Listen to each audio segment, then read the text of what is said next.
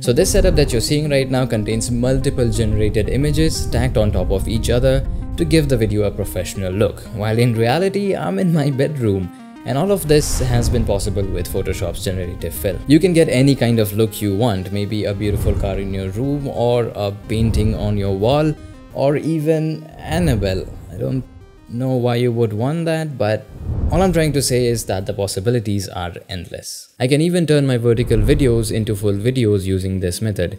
You don't need an expensive looking studio anymore to appeal to your audience. Just have decent lighting and stand in front of a plain wall and extend it using generative fill. You can also apply the same method on your product videos or when you're outside with a busy background.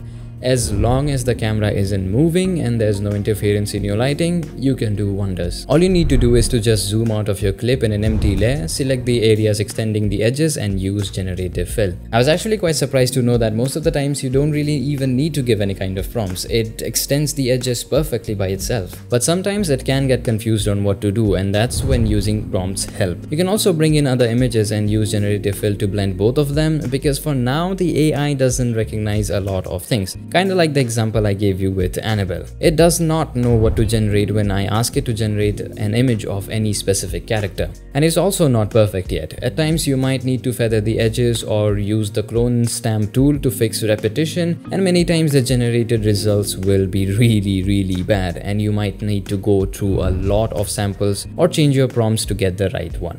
Also, I recommend color grading your clips first and then generating the edges, mainly because the color grading does not work very well on AI generated images, often because of the lack of depth and details. Now there are some more obvious limitations to using generative fill. First, you obviously can't use it with a video where the camera is in stationary. Second, if you're going to expand your video, make sure you sit behind a table or shoot a full video as it doesn't really work very well for extending human bodies.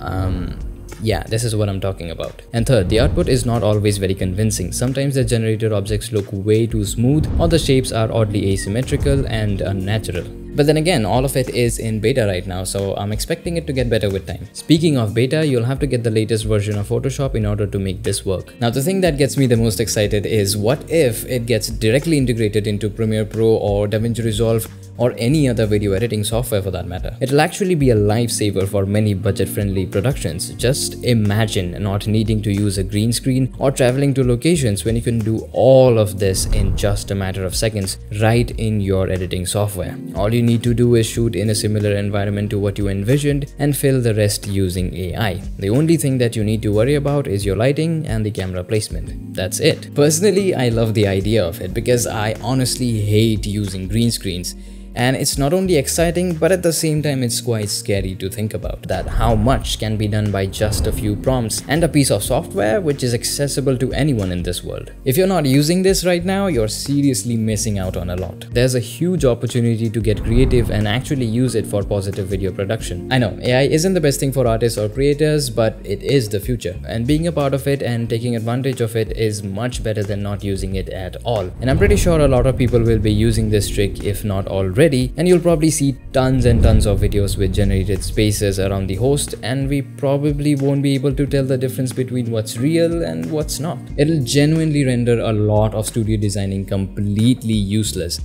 and that is a good thing and a bad thing.